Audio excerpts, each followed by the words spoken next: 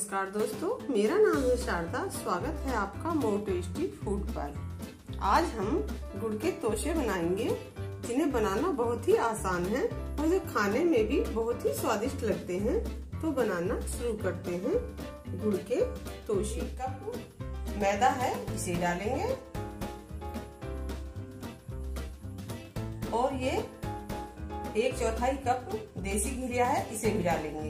इसकी जगह हम रिफाइंड ऑयल भी डाल सकते हैं, लेकिन घी के बने तोसे बहुत ही क्रिस्पी बनकर तैयार होते हैं।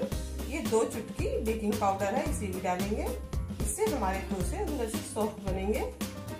अब हम इन्हें पहले मिक्स करेंगे। हमारा मोयन परफेक्ट है।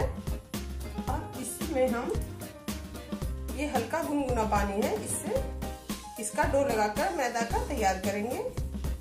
ना ही ज़्यादा सॉफ्ट और ना ही ज़्यादा हार्ड हमें बिल्कुल मीडियम डो लगाकर तैयार करें का डो लग चुका है। अब इसे हम एक बाउल में रख देंगे और 10 मिनट के लिए रेस्ट करने देंगे। डो को रेस्ट करते हुए 10 मिनट हो चुके हैं। अब इसे हम थोड़ा सा और सॉफ्ट कर लेंगे एक लोई तोड़ेंगे। इसे एक साइड रखेंगे।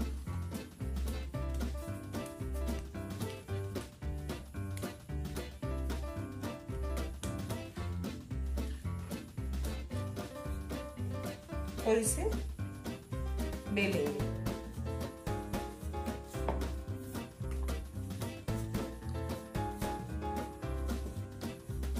हम इसे रोटी के बराबर बेल कर तैयार करेंगे। देखिए, इसकी थिकनेस इस तरह की रहनी चाहिए। इससे पतला हम इसे नहीं बेलेंगे। अब हम अपने तोसे कट कर लेते हैं। आधा आधा इंच लंबाई में कट लगा लेंगे। कहीं कहीं इन्हें शक्कर पारे और कहीं शक्कर पाली और कहीं कहीं गुड़ के तोशे के नाम से भी जाना जाता है। एक कट यहाँ लगाएँगे जिससे हमारे तोशे में अच्छी सेप आ जाए और इसे उठाकर अपने मैदा के डो में रख लेंगे। ये हमें फिर से तोशे बनाने के काम में ले लेंगे इसे। अब इस तरह एक एक तोसा उठाकर हाथ से सेप दे देंगे। जैसी हमें मार्केट में मिलती है, उसी तरह।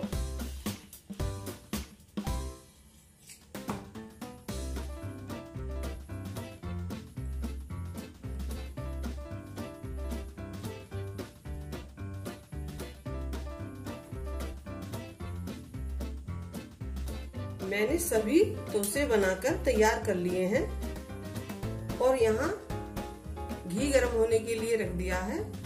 तो उसे हम रिफाइंड में भी बना सकते हैं। गैस की फ्लेम मीडियम करेंगे। और अपना एक एक करके तो तोसे इसमें डालते चले जाएँगे। ये हमें मीडियम फ्लेम पर ही सेकने हैं। जैसे ये नीचे से सिकेंगे, हम इन्हें पलट देंगे।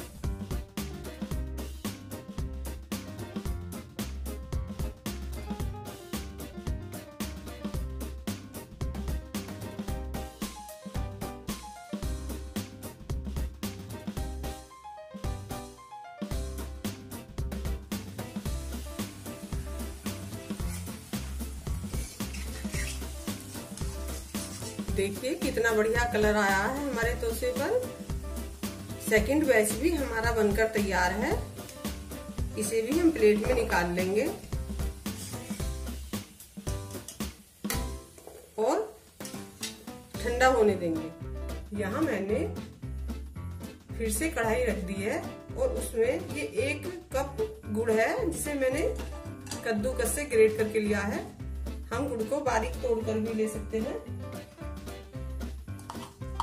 कढ़ाई में डाल देंगे। और इसमें दो चम्मच के करीब पानी डाल देंगे। पानी हमें कम ही डालना है। गुड़ कद्दूकस करने से जल्दी मेल्ट हो जाता है।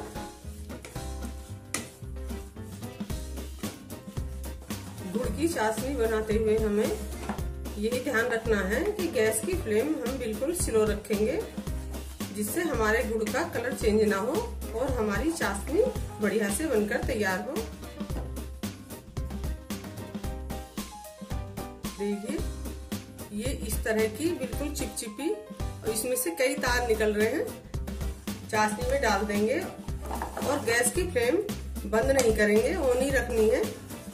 और ये तो उसे कोट कर लेंगे। और इसमें ये आधा चम्मच सौंफ है, ये भी डाल देंगे। अगर आप पसंद करते हैं तो ज़रूर डालें। इसकी बहुत अच्छी खुशबू आती है जब हम तोसे खाएँगे। इन्हें लगातार। अब हमारे तोसे अच्छे से चाशनी में कोट हो चुके हैं। अब हम गैस की फ्लेम ऑफ़ कर देंगे और इन्हें पूरी तरह से ठंडे होने देंगे। हमारे गुड़ के तोशे बनकर तैयार हैं। इन्हें एयर टाइट जार में भरकर एक महीने तक खाया जा सकता है। आप भी अपने घर पर इन्हें ज़रूर बनाएँ और अपना फीडबैक लिखकर मुझे ज़रूर बताएँ कि आपको ये रेसिपी कैसी लगी और अपने प्यारे प्यारे कमेंट लिखें और मेरे चैनल को सब्सक्राइब करें। पास में जो बेल आइकन का बटन है, उसे प्रेस करना ना भूलें ताकि आने वाली वीडियो की नोटिफिकेशन आपके पास जल्दी से जल्दी पहुँच सके। Thanks for watching my video